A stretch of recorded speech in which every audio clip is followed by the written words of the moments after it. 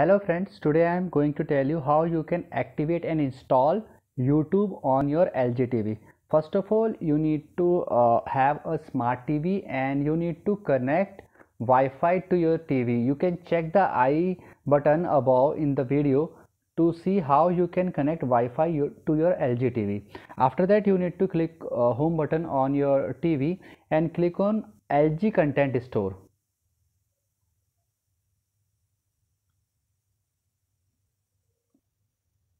After opening it, you need to scroll down and select this premium button.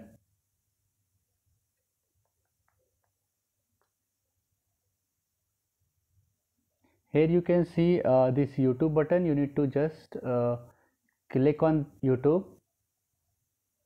I have already installed YouTube so it's showing launch for the beginner it will show install so if it is showing install for you just install it I am just launching it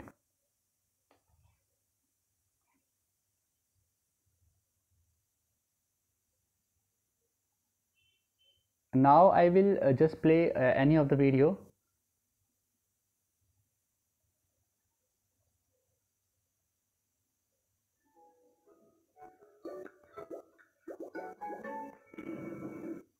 You can see the video is playing properly. I hope now you will be able to do it friend. In case you still face any problem you can comment below and I will give you a prompt reply. In case you find this video helpful just hit on the like button and subscribe my channel for my upcoming videos. Bye bye friends. Take care.